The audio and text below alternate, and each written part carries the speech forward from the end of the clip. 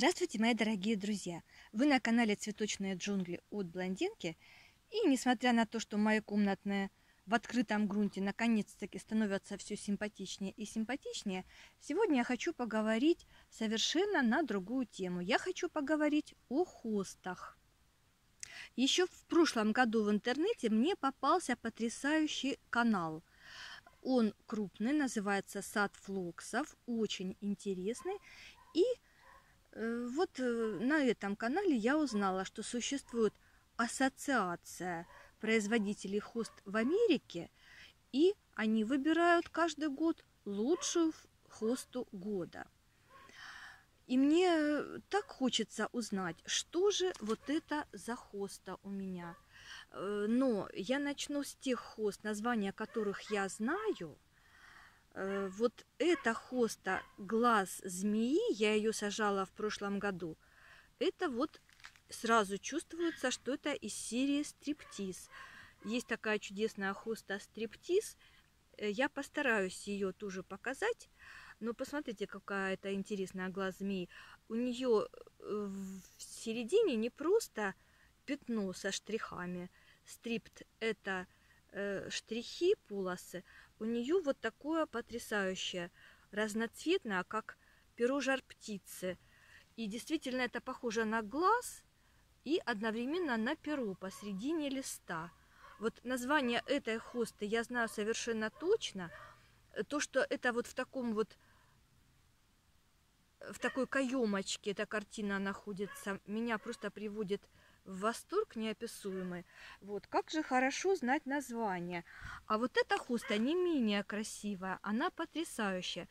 И вот сад флоксов э, рассказывала о э, хостах года. И вот там, по-моему, в 2001 году, э, может быть, э, да, хоста Джун была признана хостой года эта хоста на основе хосты халцеон, голубая хоста. Вот у меня, смотрите, она голубая-голубая. Это сейчас уже конец июля.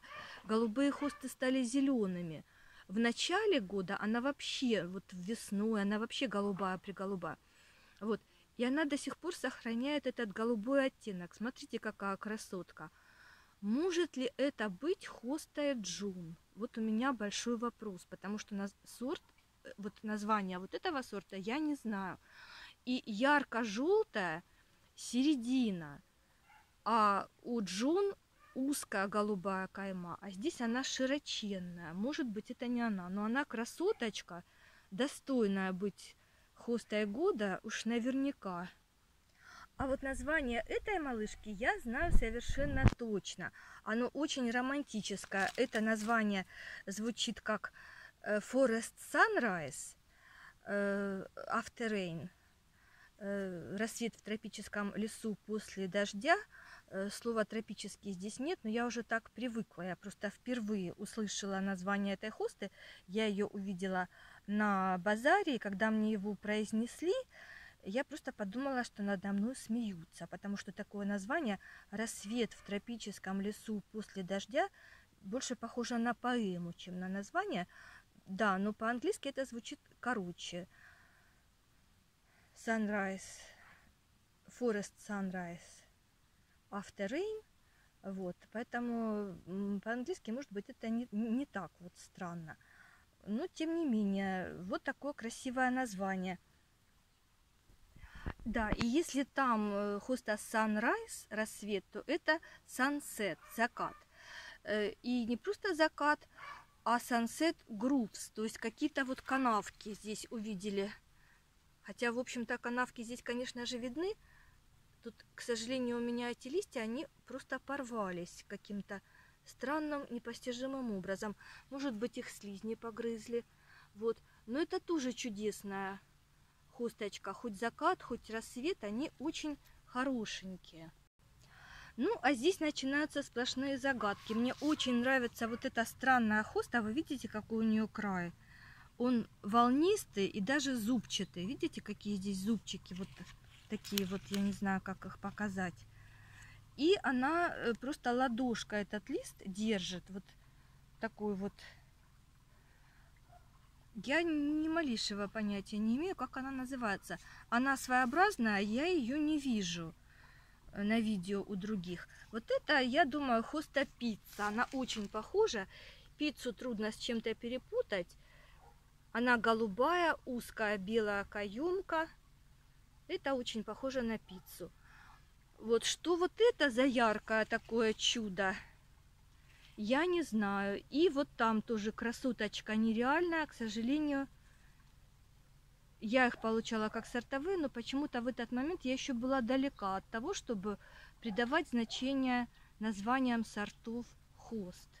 Розы я еще пыталась запоминать, но хосты, к сожалению, не пыталась. И вот такая медленно растущая, но довольно своеобразная. Вот хост у меня вроде бы не так уж много, но тем не менее, если их посчитать, вот раз, два, три, четыре, пять, шесть, семь, восемь, девять. То есть их уже девять.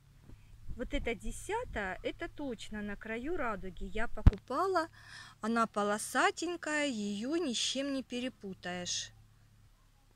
И вот такая весной, она довольно-таки сизая, она такая голубоватая, но сейчас она уже зеленая.